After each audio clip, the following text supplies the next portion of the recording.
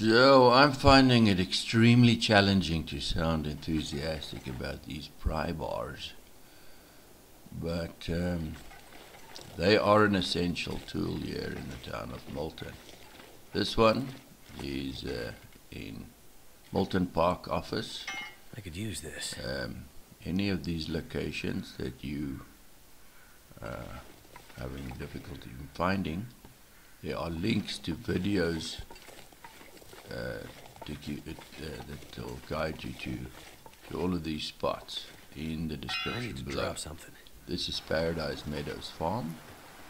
There are three pry bars here.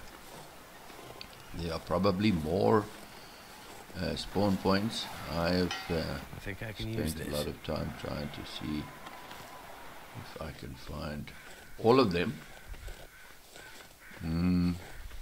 An interesting thing is, uh, since the update, it seems like the, the new I spawn think I can use points this. uh, are different. Shame. So this is a. So this is a, a guy that uh, found out that money is no longer useful. Uh, seems like the realization hit him right here as he found all of the money. And, you know, What have we here? yeah. Need I say any more about that? This is the orientation uh, feature. Standing on the west side of the water tower. How do we know that? Because if you drop a stick, it always it always points north, and left of the stick is west. Um,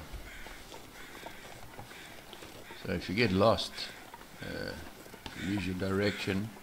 That's a good way to figure out where you're going. Uh, this little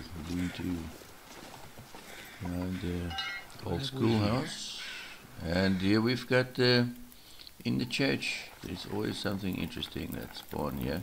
Although this is not very consistent. One out of eight, one out of ten, maybe you're gonna find a pry bar here. And uh, the question is, what on earth would you need a pry bar inside a church for? I cannot even imagine. Depending the depending on the configuration of what uh, how this how this prepper cache spawns, you can uh, there's a chance of finding a pry bar in here. Um, have a look at the have a look at the finding all the locations in one go uh, in the town of here? Milton.